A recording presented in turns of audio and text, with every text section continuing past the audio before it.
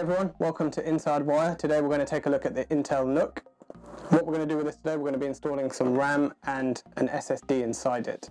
I have posted another video which uh, goes into more detail about the Intel NUC, so if you want to take a look at that, there's a link on the screen and also a link in the description below. Let's get straight into it. So here is the Intel NUC. This is the i5 processor, 10th generation. This is the bare bones model. Um, so this would require you to purchase additional memory and additional hard drive space. Today we're going to be installing 32 gig of RAM. This is a crucial kit. So this is two 16 gig chips.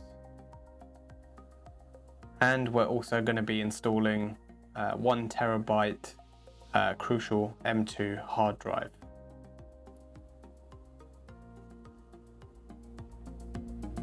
So this is the box. Um, it's a it's a fairly small box um, uh, for a small form factor PC. Let's have a look inside.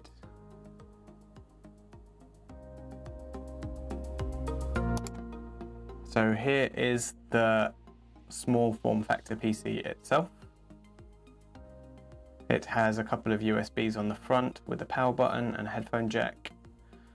On the back there is the power, HDMI network port and three USBs, one USB 3.1 and one USB-C.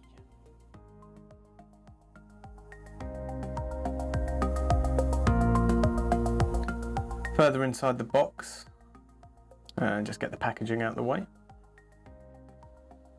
So further inside the box we have some hard drive screws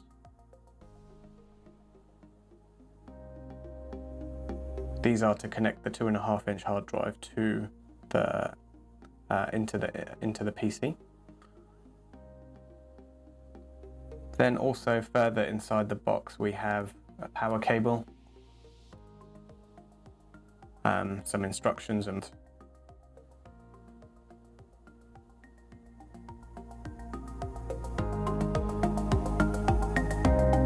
we have a monitor mount so this machine, because of its size, it can be um, mounted on the back of your PC monitor.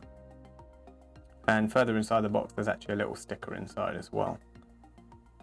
So let's have a little look at the machine. Um, so if you flip the machine over, you'll see there's four screws located at the back, one, two, three, and four. We need to undo these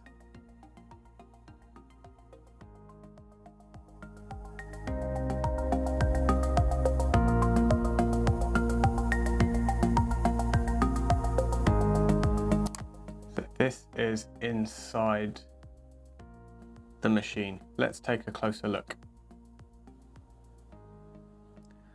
So inside here we have two memory slots. This is where your RAM will be installed. This is configurable up to 64 gig of RAM. This is the M2 slot. This is where we will be installing the SSD. There's a small little screw as you can see which needs to be undone before the hard drive can be installed. There's an additional SATA cable, which we'll have a look at that after. So let's get on and install the hard drive.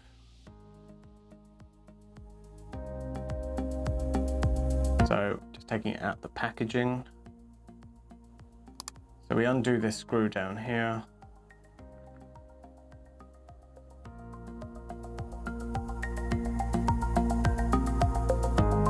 this is a really small and tiny screw so do keep it safe as you will need it to secure the drive in the machine.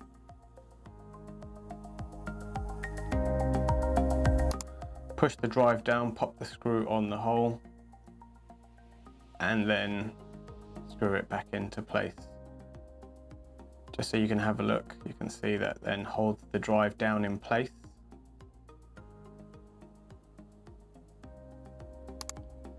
So that's the hard drive installed. So we'll move on to the memory now.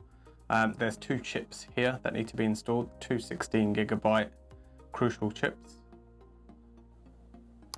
So when installing the chip, you will see there's a little groove on it. You need to make sure it's the right way.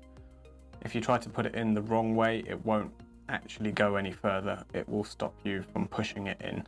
Um, so we'll flip it over, install it in the right way, and you will actually see the gold pins slightly disappear as well.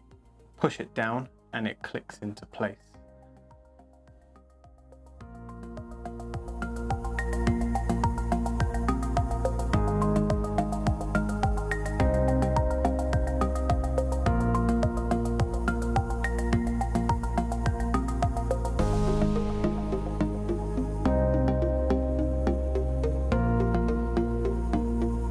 So just this additional bit here, there's a, a, hard drive you can install, which goes into there. So you can see the SATA ports are there. So this can be for an SSD or HDD. Uh, it's a two and a half inch drive and it can just be slotted straight into here. So you can install two drives in here. When popping the case back on, um, you can see I've done it there. There's actually a, an arrow at the front, um, which points to the right direction. So that points to the front of the machine, make sure it's locked in right. And that should just push down straight in. And you should be able to just tighten the four screws back up.